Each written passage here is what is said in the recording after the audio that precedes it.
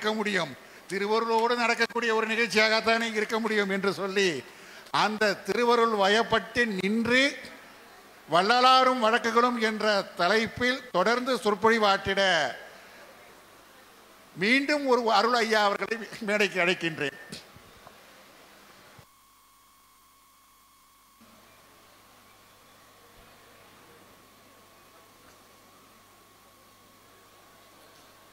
நான் கடவுள் நம்பிக்கை உள்ளவன். ஆனால் சமயவாதியோ மதவாதியோ வேதத்தை சார்ந்தவனோ அல்ல. இதை மிக தெளிவாக நாம் அறிய வேண்டும். ஒருவர் சமயவாதியாக இருக்க வேண்டிய அவசியமில்லை. அவர் மதவாதியாக இருக்க வேண்டிய அவசியமில்லை. அவர் வேத ஆகமத்தின் மீது பற்று கொண்டிருக்க வேண்டிய அவசியமில்லை. எந்த ஒரு ஆசாரத்தையும் சார வேண்டிய அவசியமில்லை. அவர் யார் என்றார்? அவர் வள்ளலாரின் சுத்த சன்மார்க்கத்தை தழுவிருக்கின்ற ஒருவர் எனப்படும். இதுதான் வள்ளலாரினுடைய சுத்த சன்மார்க்கம். அதாவது இந்த மரத்தில் பழம் பழுத்திருக்கிற மரத்தில் தான் கல்லடி விழுன்னு சொல்லுவாங்க. வள்ளலாரும் வழக்குகளும் என்பது எனது தலைப்பு. எதற்காக வள்ளலார் மீது பல வழக்குகள் தொடுக்கப்பட்டன அவர் காலத்திலே? ஒன்று. அடுத்து என்னால் தொடர்பட்ட வழக்குகள் இருபதற்கும் மேற்பட்ட வழக்குகளை நான் தொடுத்துள்ளேன். நான் தொடுத்துள்ளேன் என்று சொல்வது எதற்காக என்றால் அந்த வழக்குகளின் மூலம்தான் வள்ளலாரினுடைய தனிநெறி நிலைநிறுத்தப்பட்டது. வள்ளலார் என்றாலே ஜீவகாரணியம் ஜீவகாரணியம் ஜீவகாரணியம். அது மட்டுமல்ல வள்ளலாருடைய நெறி. ஜீவகாரணியம் என்பது இறைவீட்டின் திறவுகோல். இறைவனுடைய அருளை பெற வேண்டுமானால் அங்கு இரக்கம் வேண்டும் ஜீவகாரணியம் வேண்டும். ஆனால் ஜீவகாரணியம் என்பது வள்ளலாருடைய சுத்த சன்மார்க்கத்தில் மட்டும்தான் இருக்கிறது என்று நாம் சொல்ல முடியாது. வள்ளலாரை சொல்கிறார்கள் சமயத்தின் இயல்பும் ஜீவகாருண்யம். ஆக வெளிப்பட்டு இருக்கின்ற சமயத்தினுடைய இயல்பாக ஜீவகாரணியம் இருக்கின்ற பொழுது வள்ளலாருக்கு முன்பு இரக்கம் ஒழுக்கம் கருணை வெளிப்பட்டு இருக்கிறது ஏற்கனவே ஒழுக்கமும் கருணையும் அன்பும் வெளிப்பட்டு இருக்கின்ற அந்த நேரத்திலே வள்ளலார் எதை புதியதாக சொல்லிவிட்டார்? இதுதான் உண்மை. அதற்கு சான்று என்ன? வள்ளலாரே சொல்கிறார் உண்மை சொல்ல வந்தனனே என்று சொல்ல புகுந்தாலும் தெரிந்து கொள்வார் இல்லை. இதுதான் அவர் கடைசியாக சொன்ன சத்திய வாக்கியம் அந்த உண்மை என்ன என்று நீங்கள் எவரேனும் தேடுவீர்களானால் வள்ளலாரினுடைய நெறி வெளிப்படும். நீங்க அந்த அந்த இமேஜினேஷனுக்கு வாங்கலேன் அந்த சத் சித்தி வளாகத்தில் முப்பது ஜனவரி ஆயிரத்தி எண்ணூற்றி எழுபத்தி நாலுக்கு நீங்கள் எல்லாரும் வாங்க. இரவு பன்னெண்டு மணி. அந்த திருக்காப்பிட்டு அறை முன்பே நிற்கிறார். வள்ளலார் ஒரு ஒரு அதிசயத்தை நிகழ்த்தப் போகிறார். வள்ளலார் நம்மிடம் இருந்து தனது உடம்பை மறைத்துக் கொள்ளப் போகிறார். ஏதோ ஒரு அதிசயம் நடக்கிறது என்று வள்ளலாரை சுற்றி இருந்த அன்பர்கள் மூன்று மாதமாக இருந்து கொண்டிருந்தார்களா. தெரிந்து விட்டது. இன்று இரவு வள்ளலார் ஏதோ ஒரு அதிசயத்தை அவர் காட்டுகிறார். அவருடன் நெருங்கி இருந்தவர்களுடைய கண்களிலே கண்ணீர். மீண்டும் இவரை பார்க்க முடியாதா என்று கண்ணீர் மல்க அவர்களுடன் நெருக்கமாக இருந்த அன்பர்கள் இருக்கிறார்கள். ஊர் மக்கள்கள் அனைவரும் கூடியிருக்கிறார்கள். வள்ளலார் அதிசயம் நடத்தப் போகிறார். அந்த இடத்திற்கே அந்த நாளிலே நீங்களும் வந்து விடுங்கள். நானும் அங்கே இருக்கின்றேன். வள்ளலார் அமைதியாக இருக்கிறார். அவர் சொல்லுகிறார் திருக்கதவு திருக்காப்பிடுவதற்கு முந்தின இரவில் வள்ளலாரால் கடைசியாக நம் முன்னே தோன்றி உபதேசித்த உபதேசம் செய்த சத்திய வாக்கியத்தை நீங்கள் ஊன்றி கவனிக்க வேண்டும். இதோ சொல்கிறேன். இதுகாரும் என்னோடு நீங்கள் பழகியும் சுத்த சன்மார்க்க ஒழுக்கம் இன்னதென்று தெரிந்து கொள்ளவில்லையே.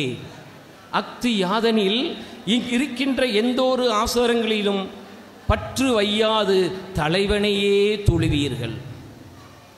இங்கு இருக்கின்ற எல்லா பற்றுகளுக்கும் காரணமான அந்த ஆசார வகைகளை விட்டு ஒழித்து கடவுளையே தொழுவீர்கள் என்பதுதான் சுத்த சன்மார்க்கம்.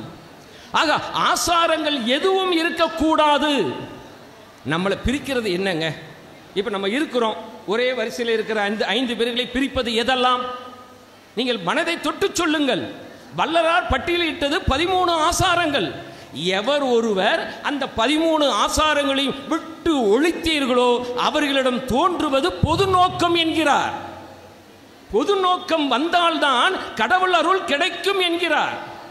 அப்ப நாம பதிமூணு ஆசாரத்தையும் வீட்டில் எழுதி இந்த பதிமூணு ஆசாரத்தில் நான் மாட்டிட்டு இருக்கிறேனான்னு சொல்லி நாம டிக் பண்ண வேண்டாமா? ஜீவகாரணியம் என்பது அடிப்படை. அது நெறி அல்ல. நெறியினுடைய ஒரு பகுதி. நெறிக்கு இட்டு செல்கின்ற பாதை தான் ஜீவகாரணியம். அப்ப நெறி என்னால் என்ற என்பது ஆசாரங்களை விட்டு ஒழித்து அந்த கடவுளையே தொழுதல் வேண்டும். அப்போ கடவுள்னா யாரு சார்? ராமலிங்க அடிகளார் கண்ட கடவுள் யார்? அப்படின்னு கேட்பாங்கல்ல? அப்படி கேட்கின்ற பட்சத்தில் அவர் சொல்லுகிறார் கடவுளுடைய நிலையை காண்பதுதான் எனது மார்க்கத்தின் நெறி என்கிறார். அப்போ ராமலிங்க அடிகளார் அதற்கு முன்பு திருவருப்பா பாடினாரே சிவனை பாடினாரே முருகனை பாடினாரே கணபதியை பாடியிருக்கிறாரே பெருமாளை பாடியிருக்கிறாரே என்றால் நேரடியாக அவருடைய வார்த்தை கொஞ்சம் அற்பறிவாக இருந்து விட்டது இந்த சமய கடவுளை பற்றி பாடிவிட்டேன். அப்படி என்றால் நீங்கள் கண்ட கடவுள் இப்போது வருகிற நமது கடவுள் இதற்கு முன் சமய சாத்திர புராணங்களில் வந்ததாக சொல்லுகின்ற கர்த்தர்களோ தேவர்களோ மூர்த்தியோ தலைவர்களோ இவர்களில் ஒருவர் அல்ல. தான் கண்ட கடவுள் சமய மத மார்க்கத்தில் சொல்லப்பட்ட கடவுள் இல்லை. சார் நீங்கள் ஒரு மனிதர் நிற்கிறார். அந்த திருச்சிலுவை அணிந்திருந்தார்னா அவர் யார்? குழந்தை சொல்லும். அவர் கிறிஸ்து மதத்தை சார்ந்தவர். அவர் அழகா திருக்குள்ளா போட்டிருந்தார் என்னன்னு சொல்லுவாங்க. அவர் இஸ்லாம் ம- மதத்தை சார்ந்தவர். திருநாமம் இட்டிருந்தால் அவர் வைணத்தை சார்ந்தவர்.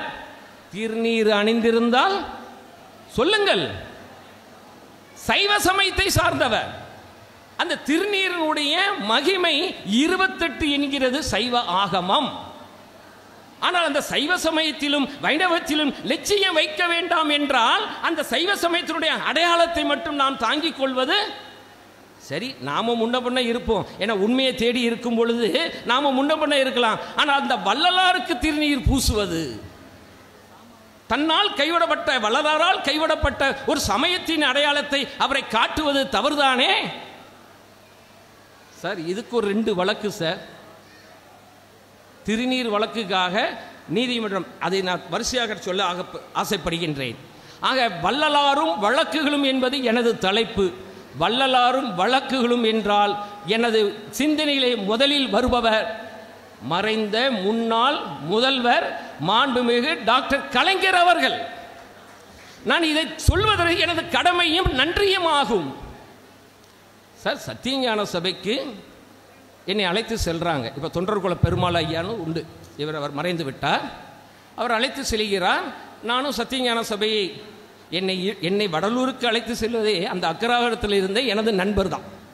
எனது நண்பர் அக்கராகரத்தில் இருக்கிறார். நான் ஒன்று எழுதி கொண்டு இருக்கிறேன் அண்ணா நீங்கள் எழுதுவதெல்லாம் வள்ளலாருடைய சிந்தனைகளாகவே இருக்கின்றன என்று வேதத்தை நம்புகின்ற அன்பர் என்னிடம் தெரிவிக்கிறார்.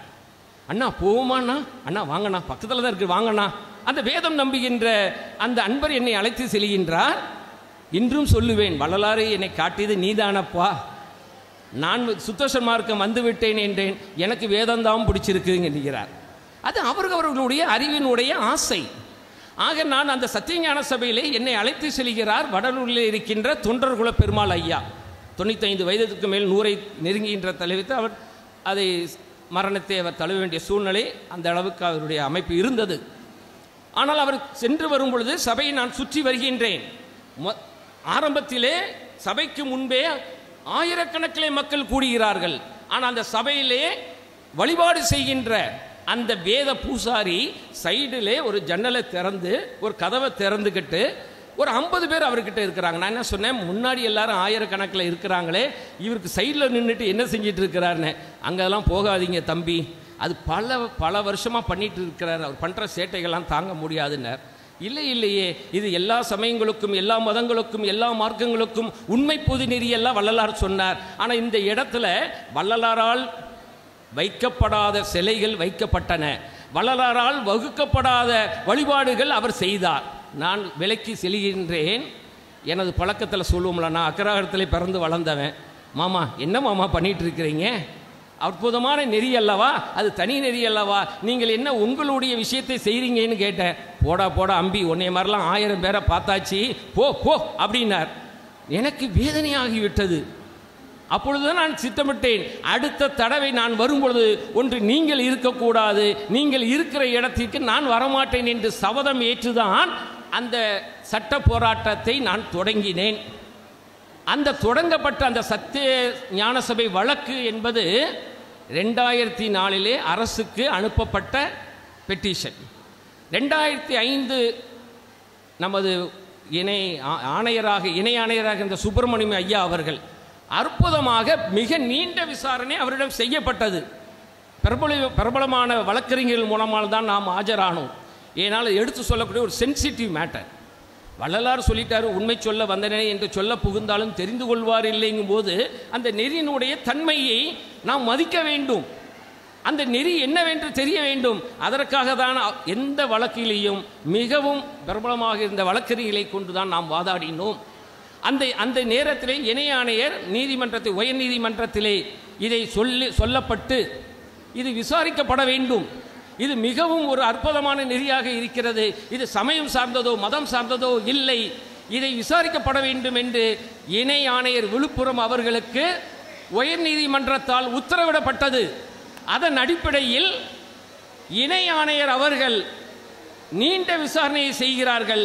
அந்த இணை ஆணையனுடைய அந்த பெயரை சொல்வது எனது நான் கடமையாகவே நினைக்கின்றேன். இணை ஆணையர் ராணா சுப்பிரமணியம் ஐயா அவர்கள். ரெண்டாயிரத்தி ஆறாம் ஆண்டு மிக தெளிவாகவே தனது தீர்ப்பினை தெரிகிறார். வள்ளலார் என்பது நெறி சமயத்தையோ மதத்தையோ சார்ந்ததல்ல. மிகவும் தெளிவாகவே வள்ளலாருடைய சத்திய சொல்லை சொல்கின்றார். சைவம் வைணவம் போன்ற சமயங்களிலும் வேதாந்தம் சித்தாந்தம் போன்ற மதங்களிலும் இதிகாசம் போன்ற புராணங்கள் போன்ற கலைகளிலும் லட்சியம் வைக்கக்கூடாது என்ற வள்ளலாரின் சத்திய வாக்கியத்தை தனது ஆணையிலே சொல்லி வள்ளலாரின் நெறி உறுதி செய்யப்பட்டது அவரால். அதன் பின்பு அந்த சத்திய வள்ளலாரால் சொல்லப்பட்ட கட்டளைகள் அனைத்தும் அந்த இணை ஆணையரால் எழு ஆணையிலேயே உத்தரவிலேயே செய்து இதுதான் எனது உத்தரவு. இந்த உத்தரவின்படி சத்திய ஞான சபையில் வழிபாடு நடக்க வேண்டும் என்று ரெண்டாயிரத்தி ஆறிலே பெறப்பட்டது. அந்த ஆணையை அவர்கள் ஏற்றார்களா? மாற்று நாம் ஒரு தவறு செய்து விட்டோமே நம்மளுக்கு சுட்டி காட்டப்பட்டதே என்று அந்த வேத பூசாரி தன்னை மாற்றிக்கொண்டாரா என்றால் மாற்றிக்கொள்ளவில்லை ஏன் ஆணையரிடம் அப்பீல் செல்கிறார். ஆணையரிடம் அப்பீல் செல்கிறார் தொடர்ந்து நடக்கிறது. நாலு வருடங்கள் அங்கு பெண்டிங். அந்த வேதனையான ஒரு விஷயத்தை நான் சொன்ன நீங்கள் ஆச்சரியப்படுவீர்கள். வள்ளலாரினுடைய நெறியை அவர்கள் எங்கனம் மறைத்தார்கள் என்றால் நீங்கள் வேதனைப்படுவீர்கள். அந்த வழக்கிலே அவர் அவர் வாக்குமூலம் கொடுத்ததெல்லாம் படித்தால் என்றால் வேதனை தான் வரும். அதில் சொல்லப்பட்ட மூன்று வரிகளை சொல்கின்றேன். வள்ளலாருக்கு புத்தி சுவாதீனம் இல்லாமல் இருந்தார். வள்ளலார் தெரியாம சொல்லிவிட்டேன் என்று எனது தந்தையின் காலிலே விழுந்து மன்னித்து விடுங்கள் என்றார். தான் தெரியாமல் ஆறாம் திருமுறையை பற்றி நான் பேசிவிட்டேன். வேதத்தை நிந்தனை செய்துவிட்டேன். என்னை மன்னியுங்கள் என்று எனது அவருக்கு முன்னாடி மூணு பரம்பரை முன்னாடி இருப்பாங்களா? காலில் விழுந்து மன்னிப்பு கேட்டார். இன்னும் அதிகமாக இருக்கிறது. அதை நான் சொல்ல விரும்பவில்லை. ஏன்னா ஜெயிச்ச பிறகு ஏன் அதெல்லாம் பேசுவேன் வெற்றி தான் அடைந்து விட்டோமே. அதை பற்றி நாம் ஏன் பேசுவோமே? அன்று அந்த இணை ஆணையர் செய்த ஆணையை ஆணையரிடம் மேல்முறையீடு பெய்கிறது. முப்பத்தெட்டு பக்கத்துக்கு சார். அப்படியே ஆணையர் உயர் திரு பிச்சாண்டி ஐஏஎஸ் ஐயா அவர்கள் ஆணையராக இருக்கும் பொழுது அளித்த தீர்ப்பு. அற்புதமான ஒரு ஆடனை கொடுக்கிறார். அவர் என்னதெல்லாம் சொல்லியிருக்கிறார்? அவர் நம்மளுடைய வாதங்கள் என்ன என்று பார்த்து இணை ஆணையரினுடைய உத்தரவை கன்ஃபார்ம் செய்கிறார். அது சரியே என்கிறார். சரி அதோடையே விட்டிருக்க வேண்டியதானே? நீங்கள் யோசிக்க வேண்டும். வள்ளலாருடைய நெறி வெளிப்பட்டு விடக்கூடாது என்பதுதான். அந்த பக்கத்தில் இருக்கவங்களுடைய இருக்கின்ற அந்த பட்சத்தில் நாம யோசிக்கணுமா வேண்டாமா? நாம அந்த நெறி என்னவென்று யோசிக்கணுமா வேண்டாமா? இதுகாரும் என்னோடு நீங்கள் பழகியும் சுத்த சன்மார்க்க நெறி இன்னதென்று தெரிந்து கொள்ளவில்லையே அப்படின்னு வள்ளலார் சொல்லிய சத்திய வாக்கியம் இன்றும் இருக்கிறதா என்றால் நான் இன்று உண்மையை சொல்கிறேன். இன்றைய மக்கள் முதல்வரின் இந்த ஐம்பத்தி ரெண்டு விழாவுக்கு பின்பு அந்த நெறி மக்களால் உணரப்பட்டது. நான் நாற்பத்தொன்பது வாரத்திலே பார்க்கின்றேன். வள்ளலாருடைய நெறி உள்ளது உள்ளபடி அறிந்த மக்கள்கள் ஆயிரம் ஆயிரம் பேர்.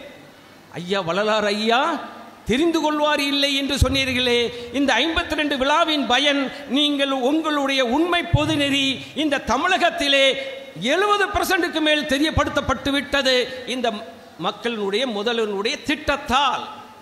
அதுக்காக முதல்வர் நம்மளுக்கு மட்டுமா இந்த மாதிரி திட்டத்தை போடுறார் என்றால் அவர் எல்லா சமய மத மார்க்கத்துக்கும் அவர் நிதி ஒதுக்கி ஒரு நடுநிலை மாமன்னனாக தெரிகின்றார் ஆனாலும் வள்ளலாருக்கு ஒரு சிறப்பு செய்தார். பெரிய திட்டங்களை அறிவிக்கிறார். நூறு கோடியில் சர்வதேச மையம். ஐம்பெரும் திட்டங்கள். சிறப்பு விருந்தினர் வருவதற்கு முன் நான் பட்டியலிட்டேன் பல்லுயிர் காப்பகம். தனிப்பெருங்கரணை தினம். வள்ளலாறு இருநூறு. முப்பெரும் விழா. நூறு கோடியிலே சர்வதேச மையம். வள்ளலாரின் நினைவில் அவர்களே வருகிறது. பசிப்பினி போக்க வேண்டும் என்ற அந்த வள்ளலாரின் சத்திய சொல் அவருடைய அறிவினிலே பதிந்து காலை உணவு திட்டத்தை அறிமுகப்படுத்திய அந்த மக்கள் முதல்வரைக்கு நாம் நன்றி சொல்ல வேண்டும் என்றால் நாம் அரசியலை பற்றிய பேசுகின்றோம். எதற்காக முதல்வருக்கு இது பிடிக்கிறதுன்னு கேட்கணும்ல. அவருடைய கடவுள் நெறி என்னன்னு என்று நான் சொல்ல விரும்பவில்லை. வள்ளல புத்தரை போல் புத்தரிடம் கேட்கிறார்கள். கடவுளை பற்றி என எனக்கு கடவுளை பற்றி சிந்தனை கிடையாது என்கிறார். உலகம் உள்ள பரவி இருக்கிற புத்த மதத்தினுடைய புத்தருக்கு கடவுள் நம்பிக்கை உண்டா என்றால் கடவுள் நம்பிக்கை கிடையாது. அந்த ஒரு அறநெறியிலே பேரங்கிற அண்ணா சொன்னார் அல்லவா? ஒன்றே குலம் ஒருவனே தேவன். என்ற அடிப்படையிலே அதற்கும் மேலாக சொல்லுவேன் தைரியமாக சொல்லுவேன். பேரறிஞர் அண்ணாவிட அவர் கண்டுபிடிக்கிறார். இந்த உண்மை பொது நெறி மிக சிறப்பாக வெளிப்பட வேண்டும். காரணம் வள்ளலாருடைய சுத்த சன்மார்க்கம். எல்லா சமயங்களுக்கும் எல்லா மதங்களுக்கும் எல்லா மார்க்கங்களுக்கும் உண்மை பொது நெறி. என்று அந்த அற்புதத்தை கண்டவ அதனால்தான் முதல்வர் அவர்கள் நம்மளுக்கு மிகப்பெரிய அளவில் இது வெளிப்பட ஆசைப்படுகின்றார். ஆனால் அவருடைய ஆசையை நாம் நிறைவேற்றி வருகிறோமா என்று நீங்கள் கருத வேண்டாமா? வள்ளலார் வள்ளலாருடைய விசேஷத்திற்கு எல்லாரும் வரலாம். மிகவும் ஒரு அருமையான விஷயத்தை நம்ம மாண்புமிகு அமைச்சருடைய புதல்வர் ஐயா மக்களினுடைய இந்த ஏரியானுடைய தலைவராக இருக்கின்ற பேராட்சி மன்ற தலைவர் ஐயா சொல்லும் பொழுது எவ்வளவு சந்தோஷப்பட்டேன் தெரியுமா பின்னாடி இருந்து? என்ன அழகாக சொல்கிறார். நீங்கள் வள்ளலாரின் நெறியை நீ படியுங்கள். படி அப்பா சொன்ன மாதிரி மகன் சொல்றதுனால உரிமையில சொல்கிறேன் நீ வள்ளலாருடைய நெறி படி உனக்கு ஒழுக்கங்கள் வரும். உனக்கு உண்மை புரிய உண்மை புரியும். நீ ஒரு ஒரு இன்டெலிஜென்டா வருவேன்னு யார் சொன்னார் அந்த அற்புதமான ஒரு எல்லா சமய மதங்களும் இருக்கிற மாதிரி அந்த இஸ்லாமில் பிறந்து அந்த இஸ்லாமனுடைய நெறியின்படி வாழ்ந்து கொண்டிருக்கின்ற அந்த மாண்புமிகு அமைச்சர் தனது புதல்வருக்கு சொல்கிறார் என்றால் அதுவல்லவா உண்மை பொது நெறி? இதை நாம் ஒவ்வொருவரும் கருத்தில் ஏற்ற வேண்டும். நாம் எந்த சமய மதத்தில் இருந்தாலும் சரி ஆனால் நான் வள்ளலாருனுடைய சுத்த சன்மார்க்கத்தை சார்ந்தவன் வள்ளலார் வழியில் இருப்பவன் என்றால் நீங்கள் உங்களிடையே ஆசாரம் இருக்கக்கூடாது. நீங்கள் சைவ சமயத்தை சேர்ந்தவங்களாலும் வள்ளலாறு விரும்பலாம். வைணவத்தில் இருந்தாலும் விரும்பலாம். எந்த சமய மதத்தில் இருந்தாலும் விரும்புங்க. அது உங்களுக்கு உரிமை உண்டு. எல்லோருக்கும் பிடித்தமான எல்லா விஷயத்தையும் சொன்னவர் தானே வள்ளலார். இப்போ நான் நேரடியாகவே சொல்கிறேனே ஏற்கனவே பு- பழைய இதில் முந்தினம் கூட்டத்தில் சொன்னேன். ஒரு ஒரு ஒருத்தர் இருக்கிறார். அவருக்கு வந்து அவற்றை காரணியம் இல்லாத உணவு பழக்கம் வேறுவதாக இருந்தாலும் அவர் புலால் உண்பவராகவே இருந்தாலும் வள்ளலாரை பிடிக்குமா பிடிக்காதா என்று கேட்டால் அவருக்கும் பிடிக்கிறது எதனால் பிடிக்கிறது என்று கேட்டேன். சாதி பொய் என்றார். இந்த சாதி பொய் என்றார். பொது நோக்கம் வேண்டும் என்றார் என்று அவருக்கு பிடிக்காமல் இருக்குமா சார்? அடுத்த ஒரு சமய ஞானியை பார்க்கின்றோம். பல மேடைகளிலே நம்ம சமயத்திலிருந்து வந்திருக்கிறாங்க பெரிய ஞானிகள். அவரிடம் கேட்டேன் வள்ளலார் சமயம் பொய்ன்னு சொன்னார இந்த ஞானி வந்திருக்காரு ஐயா ஐயா உங்களுக்கு எப்படியா வள்ளலார பிடிக்கும் என்று கேட்டேன். அவர் சொல்லுகிறார் இவர் ஜீவகாருணியர் மிகப்பெரிய சுத்த ஞானி கடவுளை கண்டார் என்பதில் நான் அவரை விரும்புகிறேன் என்றால் அதில் என்ன தவறு இருக்கிறது? ஆனால் இங்குதான் மிகவும் ஜாக்கிரதையாக நாம் இருக்க வேண்டும். அது என்னவென்றால் நான் சொல்லவில்லை. பேரறிஞர் அண்ணா சொல்கிறார். விழா எடுப்பவர்கள் கொண்டாடுவார்கள். ஆனால் இந்த சுத்த சன்மார்க்கிகளே உங்கள் நெறியை மண்ணிலே மக்க செய்து விடுவார்கள். இந்த நெறியை காப்பாற்ற வேண்டிய கடமை நம்மிடம் உள்ளது. அந்த நெறி எப்படிப்பட்ட நெறி என்றால் எந்த சமயத்தையும் மதத்தையும் சாராத நெறி. வேதத்தை விரட்டிய நெறி. என்ன நீங்க யோசிச்சு பாருங்களேன்.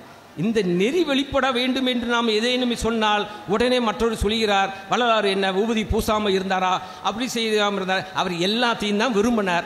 இரண்டரை வருட காலமாகத்தான் சுத்த சன்மார்க்க நெறியை வெளிப்படையாக உறுதியாக தெரிவிக்கிறார்.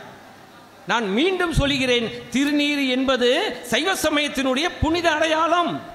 இருபத்தெட்டு விஷயங்களை சொல்லுது சார் சைவாகமம் திருநீரை பற்றி இருபத்தெட்டு விஷயத்தை சொல்கிறது ஒன்று என்னவென்றால் சாம்பலாய் போற மனிதா நீ கடவுளை நினை அப்படிங்கிறதுக்கு முத அடையாளம் தான் ஒன்று இருபத்தெட்டில் ஒரு அஞ்சு என்ன சொல்கிறேன் சாம்பலாய் போற மனிதா கடவுளை நினை மும்மலங்களை ஒழிக்க வேண்டும் கடவுளர்களை பெற மூன்று கோடுகள்.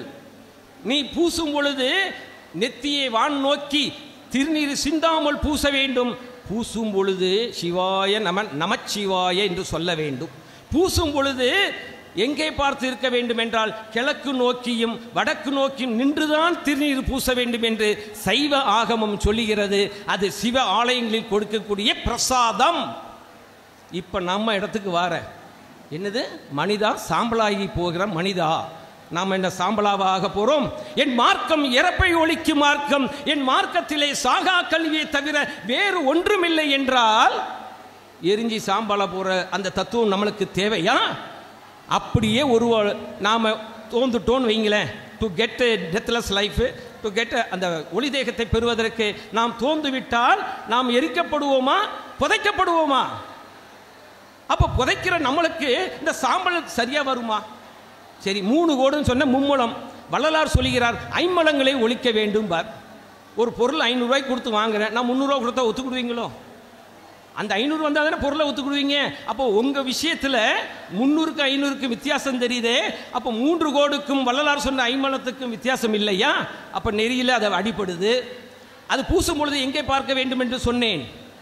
கிழக்கு நோக்கி வடக்கு நோக்கி வள்ளலார் சொல்கிறார் நமது சாகா கல்விக்கு திசை தெற்கு திசையும் அவுட்டு தானே? பூசும்போது மந்திரம் அங்கே என்ன? சிவாய நம. வல்ல- நம்மளுடைய சுத்த சன்மார்க்கத்தினுடைய மந்திரம் என்ன? மனதை தொட்டு சொல்லுங்கள். நீங்கள் வள்ளலாரை காண வேண்டுமானால் ஆசாரத்தில் இருக்கக்கூடாது சார். ஆனால் எல்லா சமய மதத்துக்காரர்களையும் நாம் வரவேற்கின்றோம். வள்ளலாரின் நெறி அப்போ தானே சொல்ல முடியும். யாருக்கு சொல்ல முடியும்? தெரிஞ்சவங்களே பேசிட்டு இருக்க முடியுமா? ஆக என் மார்க்கம் என் மார்க்கத்தில் சாகா கல்வியை தவிர வேறு ஒன்றும் இல்லை அங்கே சிவ ஆலயங்களில் கொடுக்கப்படுகின்ற திருநீர் நம்ம சுத்த சன்மார்க்கத்துக்கு ஏதாவது ஆலயம் உண்டா? வள்ளலார் தெளிவாக சொல்கிறார் கடவுள் பற்றிய சிந்தனை எல்லாம் அகம் நோக்கி. எங்களுக்கு புறத்திலே எந்த ஒரு ஆலயமும் கிடையாது. ஒழுக்கம் நிரப்பி கருணை ஒன்றை சாதனமாக கொண்டு இறைவா நீ எங்கனம் வீற்றிருக்கிறாய்? இறைவா உன்னை காண வேண்டும். எதற்குன்னு கேட்டா நான் மரணமில்லாமல் வாழ வேண்டும். மரணமில்லாமல் வாழ்ந்து என்ன செய்ய போகிறாய் என்று கேட்டால் அண்ட திறங்களையும் இந்த பிண்ட உண்மையை நான் அறிய போய் ஆசையாக உள்ளேன். இதுவே சுத்த சன்மார்க்கம். இந்த நெறியை காப்பாற்ற வேண்டியது கடமையா இல்லையா? அற்புதமான அந்த முதல்வருக்கு புரிந்தது. ஐம்பது வருடமாக இருக்கிற சுத்த சன்மார்க்கிகளுக்கு என்று பெயரை சொன்னவர்களுக்கு உங்களுக்கு புரியவில்லை என்றால் சார் உண்மையிலே சொல்றேன் சார். நாற்பத்தொன்பதாவது வாரத்தில் மிகப்பெரிய அளவில் நமது அன்பர்களிடம் இந்த நெறி வெளிப்பட்டு விட்டது. மீண்டும் முதல்வருக்கு நான் நன்றியை சொல்லி எனது பயணமாகிய சட்ட போராட்டத்தை சொல்வதன் மூலமாக நான் உங்களிடம் ஒரு விஷயத்தை நான் பதிவு செய்யலாம் என்று இருக்கின்றேன். ஆக சத்தியஞான சபை ரெண்டாயிரத்தி ஆறு ஆணையர் ரெண்டாயிரத்தி பத்து கொடுத்தாங்க. அப்பவும் விட்டாங்களா என்றால் உயர்நீதிமன்றத்திலே அவர்கள் சென்றார்கள். அந்த உயர்நீதிமன்றத்திலே சென்ற பொழுது மாண்புமிகு நீதி அரசர் எல்லோராலும் பாராட்டப்பட்ட ஹானபிள் ஜஸ்டிஸ் கே சந்துரு அவர்கள் கொடுத்த ஜட்ஜ்மெண்ட்டை நீங்களாம் படிக்கணும் சார் சார் வழக்குகள் என்பது மிகப்பெரிய விஷயம். ஒன்று வேண்டாம். உங்க நம்ம வீட்டில் ஒரு பிரச்சனை ஒரு வழக்குக்கு போனால் திரும்பி வர முடியுமா? ஜென்மம் ஜென்மமாக போய்கிட்டு இருக்குது வழக்குகள். அப்படி நெறிக்காக வழக்குகள் இருபதுக்கு மேல் போ போடப்பட்டு தான் இந்த நெறியை காப்பாற்ற வேண்டிய அளவுக்கு நம்ம யார் சார் அழுத்தி வச்சிருக்கிறாங்க? அந்த ஆனரபிள் ஜஸ்டிஸ் சந்துரு ஜட்ஜ்மெண்ட்டுக்கு மேலேயும் ரெண்டு ஜட்ஜஸ் உள்ள அப்பீலுக்கு போகிறாங்க இப்போ தான் ஒரு வருஷத்துக்கு முன்னாடி தான் ரெண்டு ஹானரபிள் ஜட்ஜஸ் அதை தீர்மானமாக சொல்லி சந்துருவுடைய ஹானரபிள் ஜஸ்டிஸ் சந்துருவுடைய கன்ஃபார்ம் பண்ணுறாங்க அதை அமுல்படுத்தப்பட வேண்டும் என்று நாம் ரெண்டாயிரத்தி பத்திலே கமிஷன் ஆடை அமுல்படுத்திய அனைத்து கிரெடிட்ஸ் கோஸ் டு நமது டாக்டர் கலைஞர் ஐயாவை தான் சாரும். ஆணையை பெற்றவுடன் அதற்கான ஆதரவு என்று சொல்வதை விட அவர்கள் ஒரே நாளிலே அந்த சத்திய ஞான சபை வழிபாடு வள்ளலாரின் சுத்த சன்மார்க்க வழிபாடு மூலம் நடைபெற வேண்டும் என்று அவர் ஆணையருக்கு உத்தரவிட்டதை இன்றும் நாம் நன்றியுடன் பார்க்க வேண்டும். ஆக சத்திய ஞான சபை வழக்கு முடிஞ்ச உடனே எல்லாம் முடிஞ்சு போச்சுலாம் சார்னு போயிட்டா எல்லா ஆர்டரும் நெறிப்படி கிடைச்சாச்சு. சட் சட்டமன்றத்தின் மூலமாக சட் நீதிமன்றத்தின் மூலமாக சட்டசபையின் தலைவராகிய அவர்கள் நம்மளுக்கு ஆதரவு தெரிவித்து சட்டத்தின் வாயிலாக இன்று நிலைநிறுத்தப்பட்டது வள்ளலாரின் சுத்த சன்மார்க்க தனி நெறி. ஆனால் நம்மிடம் நம்மை சார்ந்தவர்கள் நம்மையே ஏமாற்றி கொண்டிருப்பவர்களிடம் நாம் வென்று விட்டோமா என்றால் வென்று விடவில்லை. அதற்கு நீங்கள் சத்தியஞான சபைக்கு உள்ளே போகும்போது பார்த்தீங்கன்னா ஒரு ஆர்ச்சி உண்டு தெரியுமா?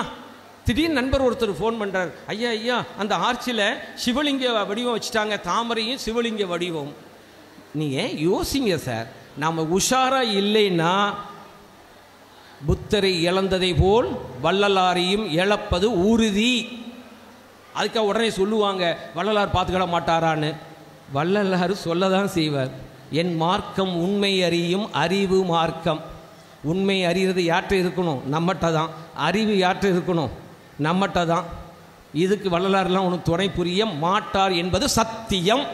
உண்மை அறிய வேண்டும் என்ற ஆசை நம்மிடம் இருக்க வேண்டும். அதை அறிகின்ற அறிவு நம்மிடம் இருக்க வேண்டும். இவர்களுக்குத்தான் என் மார்க்கம் என்று பல இடங்களில் பாடல்கள் மூலம் உபதேசம் மூலம் அவர் நிரூபித்து உள்ளார். என்ன சார் கைவிட்டுட்டாரா என்றால் ஒரிஜினல் காடுன்னு இருப்பாங்கல்ல வல்லாருக்கு முன்பால ஒரு காடு அதாவது வள்ளலாரை யார் பார்த்தார்? அற்பெருஞ்சோதி ஆண்டவரை காண்கிறார். அப்போ அந்த அற்பெருஞ்சோதி ஆண்டவருடைய அமைப்பு தான் இப்பொழுது நாம் செயல்பட்டு கொண்டிருக்கின்ற அமைப்பு. பிறவி தோறும் தான் சார் அறிவு வளரும். இந்த ஒரு கான்செப்டை புரிஞ்சுக்கங்களேன். முழு அறிவை பெறுவதற்கு பல லட்ச பிறவிகள் எடுக்கப்பட வேண்டும் என்றுதான் சமயங்களும் மதங்களும் நமக்கு போதிக்கின்றன. அது அது சமயங்களும் திருமந்திரத்தை படித்தீங்கன்னா மிக தெளிவாகவே நம்ம தெரிந்துவிடும். திருமந்திரத்திற்கும் சுத்த சன்மார்க்கத்திற்கும் உள்ள வேறுபாடு என்னவென்றால் உலகில் உள்ள சமய மத மார்க்கத்திற்கும் சுத்த சன்மார்க்கத்திற்கும் உள்ள ஒரே வேறுபாடு வேற ஒன்றும் இல்லைங்க. அங்கே எல்லாருமே அந்த மதத்திலையும் சமயத்திலையும் நாம் விருப்பம் கொண்டு அந்த சமய மதத்தினுடைய புனித நூல்களின் அடிப்படையில் தான் அவங்க பிரார்த்திப்பாங்க. அதன் அடிப்படையில் தான் பயணிப்பாங்க. இதில் மாற்றுக்கிறது யாருக்கும் இல்லை. எல்லா புனித நூலும் எல்லா சமயங்களும் மதங்களும் நல்லதையே போதிக்கின்றன. மாற்றுக்கிறது இருக்கா? நம்ம எதையாவது யாரையாவது குறைச்சி சொன்னோமா வள்ளலார் ஏன் சமயத்தை கைவிட்டார்? ஏன் சமயம் பொய் என்கிறார்? உலக சமயங்கள் அனைத்தும் பொய் பொய்யே! அப்படின்னு கேட்டால் பதில் சொல்லணும்ல சார் சமய மதங்களை பொய் பொய்யே என்று சொல்வதற்கு ஒரே காரணம் அவைகள் முழு உண்மையை உரைக்கவில்லை. முழு உண்மையை அது உரைக்கவில்லை என்பதனால் தான் பொய் சொல்லுகிறார். முதல்ல ஒரு பாயிண்ட் ஆனால் அதையும் தாண்டி அவருக்கு ஒரு ஆசை இருந்துதான் விருப்பம். அது என்னவென்றால் மரணம் பிணி மூப்பு பயம் துன்பம் போன்ற அவத்தைகளை நீக்கிக் கொண்டு எக்காலத்தும் எவ்விடத்தும் தடைபடாத அந்த பேரின்ப பெருவாழ்வில் நித்திய வாழ்வில் சாகாமல் நான் வாழ வேண்டும் என்ற அதி தீவிர விருப்பம் அவருக்கு ஏற்பட்டது. சார் அவருக்கு விருப்பம் ஏற்படுறது அவருடைய உரிமை தானே அவருடைய அறிவு சொல்லுது நான் சாகாமல் இருக்க வேண்டும். நான் நித்திய வாழ்வை பெற வேண்டும். துன்பங்களை நான் நீக்கிக் கொள்ள வேண்டும் என்ற அந்த விருப்பம் ஏற்பட்டது பாருங்க. அதுக்கு சமய மதத்தில் வழி இருக்கான்னு பார்த்தார். இப்போ நீ நம்மளுக்கே விருப்பம் வந்தால் என்ன செய்வோம்? அதுக்கு வழிதுறை இருக்குதா என்று நாம் பார்த்தால் நீங்கள் உலகத்தினுடைய முன்னே வரக்கூடாதுன்னு சனாதனத்தின் உச்சம். வள்ளலார் சனாதனத்தின் உச்சமா? வள்ளலார் அங்கே இருக்கிற ஒரு கடவுள் போல் அவதாரமா. அவதாரமா அவர்? அவர் அவதாரம் இல்லை. தெளிவாக தெரிந்து கொள்ளுங்கள். ஏனென்றால் சுத்த சன்மார்க்கத்திலே கடவுளை தவிர வேறு ஒன்றும் இல்லை கடவுள் தான் முழுமையாக இங்கு இருக்கிறார். மற்ற அனைத்துமே தத்துவங்கள். அங்கே இருக்கிற மாதிரி ரிஷிகள் அவதாரம்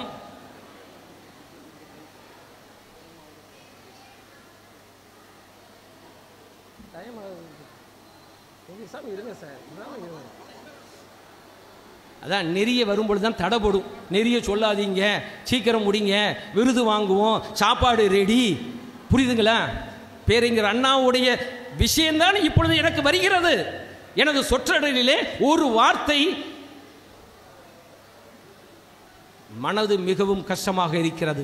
இந்த விழா எடுப்பதற்கான மக்கள் முதல்வரினுடைய நெறி வெளிப்பட வேண்டும். பேருங்கிற அண்ணா ஆசை கலைஞர் சொல்லுகிறார் சுத்த சன்மார்க்கிகளே உங்கள் நெறி உங்களுக்கே தெரியவில்லை என்று கலைஞர் கடிதம் எழுதியுள்ளார். அது நீங்கள் ஒரு விழா உங்களுக்கு வேணும்னா அதை நான் தாரேன் எல்லாரும். பெருங்க அண்ணா வருத்தப்படுகிறார் கலைஞர் வருத்தப்படுகிறார்கள். பெரிய பெரிய சமய ஞானிகளும் வருத்தப்பட்டார்கள். ஏன்? ஒரு விவிஐபி கூட வந்திருந்தார்.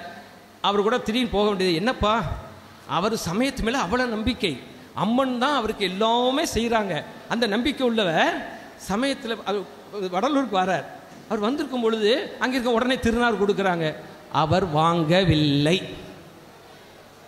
சமயத்தின் மீது இருக்கின்ற ஒரு உயர்ந்த பதவியிலே இருக்கின்றவர் வடலூரிலே வருகிறார் அவர் அடியிலே நான் இருக்கின்றேன். அவருக்கு திருநார் கொடுக்குறாங்க. அவர் சொல்லுகிறார் வல்லராருடைய நிலையத்தில் இது கிடையாதே இது ஏன் கொடுக்குறீங்க? ஏன்பா எத்தனை வழக்குகள் போட்டாலும் இவங்கெல்லாம் மாற மாட்டாங்களா? பாருப்பா இதுன்னாங்க எவ்வளோ ஒரு விஷயம் பாருங்க. ஆக எல்லா சமய மதத்தில் இருந்தாலும் இந்த நெறி அங்கனமே விளங்க வேண்டும் என்று நினைக்கின்றவர்கள்தான். எச்சபை பொதுச்சபை என அறிஞர்கள் வேம்பினரோ அச்சபை அமரும் அருப்பெருஞ்சோதி. ஆனால் இந்த நெறி வெளிப்படக்கூடாது என்று சொல்பவர்கள் யார்? அந்த பொது நெறி சார் அதுக்காக தான் நான் போட்ட ஒவ்வொரு வழக்குகளும் இருபது விஷயமா போட்டேன். சத்தியஞான சபைக்கு நாலு. அந்த நிலையத்தில் கொண்டு லிங்கத்தை வைக்கிறாங்க. அது ஒரு இது. மொட்டை போடுறதுக்கு மூணு கடையை திறக்கிறாங்க. நம்ம மக்கள் ஆகா பழனிக்கு போக வேண்டாம் அங்கே வந்தெல்லாம் சொல்லி இங்கே அழகு குத்தி தூக்குனதெல்லாம் தெரியும். அந்த குறிஞ்சிப்பாடியில் இருக்கிற ஒரு அன்பர் ஆறுமுகம் ஐயா உட்கார்ந்துருக்கிறார். மூணு கடை மொட்டை போடுற கடையை உருவாக்கியாச்சு. அழகு குத்துறாங்க. விவேகானந்தர் இல்லம் இருக்கிறது. அங்கே கூட்டத்தை பார்க்கிறீர்களா? விவேகானந்தர் இல்லம் இருக்கிறது. அங்கே கூட்டத்தை பார்க்கிறீர்களா? ராமகிருஷ்ணா பெரிய மகான். அவருடைய இல்லத்து போங்க. அஞ்சு பேர் பத்து பேர் தான் இருப்பாங்க. ஆனால் உலகம் உள்ள அந்த விவேகானந்தருடைய நெறியும் ராமகிருஷ்ணனுடைய நெறியும் மில ஓங்கி இருக்கிறதே. சார் வெளிப்படையாக சொல்கிறேன் சார். ராமலிங்கடிகளார் சுவாமிகளுக்கு முன்பு அவர் நெறியை உரைத்தவர் திருவள்ளுவர். திருவள்ளுவர் சொன்னதுக்கு அப்புறம் பக்திங்கிற மார்க்கத்திலையும் பல சமய மத வேதங்களுடைய அனைத்தும் நம்மை இருளில் தள்ளியது. இது அறிஞர்கள் எதை எப்படி வேணாலும் விசாரிக்கலாம். ஆய்வு செய்யுங்கள் என்கிறேன். திருவள்ளுவருக்கு அப்புறம் வள்ளலார் தான் இந்த உயர்ந்த கருத்தை சொல்கிறார். இந்த இந்த நெறியை நாம் காப்பாற்ற வேண்டியது நமது கடமை என்பதுதான். எனது தலைப்பின் நோக்கம். ஆக அங்கு நடைபெறுகின்ற அனைத்து விஷயங்களுக்கும் வழக்கு போட்டு வழக்கு போட்டு வழக்கு போட்டு வழக்கு போட்டு தான் நாம் ஜெயிக்கணுமா? எத்தனை வழக்குகள் போடுவது என்ற அந்த எண்ணம் தான் இன்றைய தமிழ்நாடு அரசுக்கு ஏற்பட்டது. முதலில் மக்களிடம் நெறியை பரப்புங்கள். அதன் பின்பு நெறி பரவன பிறகு என்ன சார் இருக்கு? அவங்கவுங்க பாடுதானே? அதனால் உங்களிடம் மாறி மாறி நான் உங்களிடம் சொல்லக்கொள்வது வள்ளலாரனுடைய வள்ளலாரினுடைய சுத்த சன்மார்க்க நெறி என்பது அக அனுபவம் என்பதை நீங்கள் உறுதியாக சொல்ல வேண்டும். நான் ஒவ்வொரு வழக்குக்கும் நம்பர்.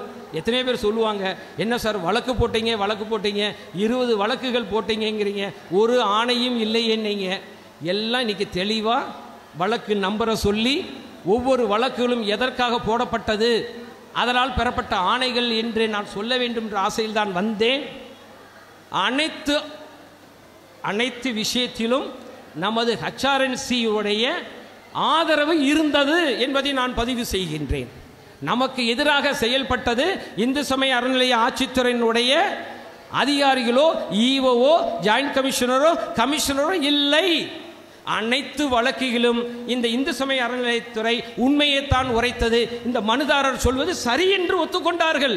என்றால் எல்லா சமயத்தினுடைய நெறிய அடிப்படையில் ஆகம அடிப்படையில் தான் இவங்க எல்லா திட்டங்களும் போடுறாங்க. எங்களுடைய ஒரு சின்ன ரிக்வஸ்ட்டு வடலூர் தெய்வ நிலையத்திலே நியமிக்கப்படுகின்ற அறங்காவலர்கள் ஐந்து பேரும் புலால் உண்ணாதவர்களாக இருக்க வேண்டும். ஒரு அறங்காவலர் எப்படிப்பட்டவர்? உள்ளே செல்ல வேண்டும் அல்லவா? அதனால் நீங்கள் புலால் உண்ணாதவர்களாக ஐந்து பேர்களும் இருக்க வேண்டும். எங்களில் அதில் ஒரு ரெண்டு மூணு பேரை சுத்த சன்மார்க்கத்தை தழுபவர்களையும் நீங்கள் முதல்வர்களிடம் சொல்ல வேண்டும் என்ற ஒரு அது அறுதொரு விஷயத்தை சொல்கிறேன் ஐந்து திட்டங்களை அறிவித்த முதல்வரிடம் இன்னொரு அஞ்சு கேட்போமா சார்? உங்களுடைய சார்பாக நான் மேதகு மக்கள் முதல்வரிடம் இன்னும் நீங்கள் ஒரு ஐந்து விஷயங்களை நீங்கள் எங்களுக்கு செய்து தர வேண்டும். அது என்னவென்றால் அதுவும் வழக்கு போட்டாச்சு. சுத்த சன்மார்க்கம் என்பது எந்த ஒரு சமயத்தையோ மதத்தையோ வேதத்தையோ சார்ந்தது அல்ல என்று எங்களுக்கு அரசு அறிவிக்க வேண்டும். இது நம்மளுடைய முத விஷயம். ரெண்டாவது அந்த அசோகர் காலத்தில் எப்படி அவர் புத்த மதத்தை பரப்பினாரோ மாண்புமிகு முதல்வர் அவர்களே எங்களுடைய நெறியை நீங்கள் அறிந்திருக்கிறீர்கள் என்ற அந்த அடிப்படையிலே கேட்கின்றோம். மாவட்டம் தோறும் எங்களது அற்பெருஞ்சோதி ஆண்டவருடைய திருக்கோயில் நிறுவி தர வேண்டும். வள்ளலார் சமயத்தில் இருந்தார். அதனால் நாங்கள் பூசுகிறோம் வள்ளலார் ஊதியெல்லாம் இரநூறு இருநூறு முப்பெரும் விழாவினையொட்டி